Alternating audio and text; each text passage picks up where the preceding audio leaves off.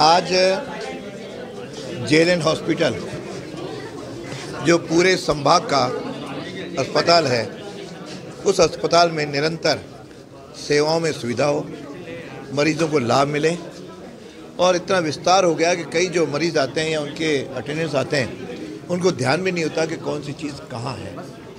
इसके लिए यहाँ पर अध्यक्ष हेल्प डेस्क यहाँ पे प्रारंभ की है जिसमें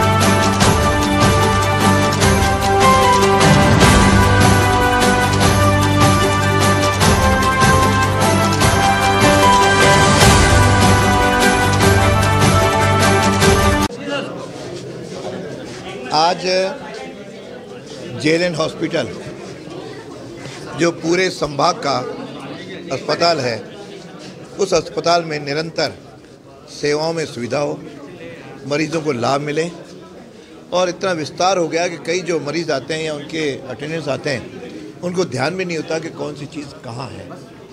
इसके लिए यहाँ पर अध्यक्ष हेल्प डेस्क यहाँ पे प्रारंभ की है जिसमें तीन लोग बैठेंगे जो भी आएगा और वहाँ पे सारा डिस्प्ले भी हुआ है।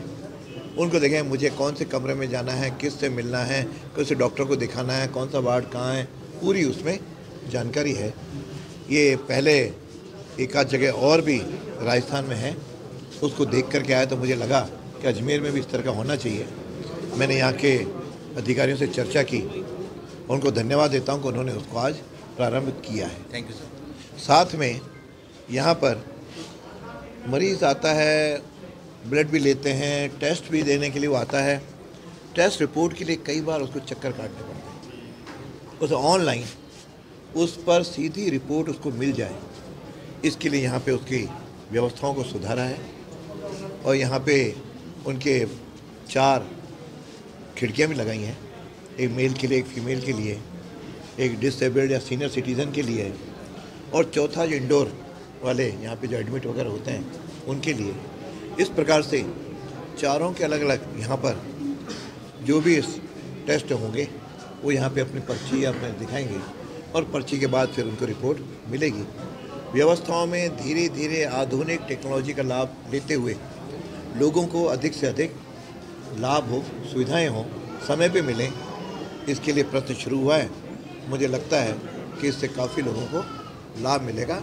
और अधिकारियों से भी अपेक्षा करता हूँ कि जो कुछ आप प्रारंभ कर रहे हो इसमें स्टाफ को ऐसे को लगाएँ जो आम मरीज़ या उसके अटेंडेंट को पूरे प्यार स्नेह के साथ बातचीत करते हुए उसकी आवश्यकताओं को पूरा करें और उनके रिपोर्ट सही समय पर उनको मिल जाए। इस प्रकार की व्यवस्था करने का प्रयत्न किया है वही निश्चित रूप सार्थक होगा। आज स्कूल भी जाके आए मतलब वहाँ आए नहीं स्कूल की बात यहाँ पूछ रहे हैं। बिना टैक्स दिए माकड़ वाली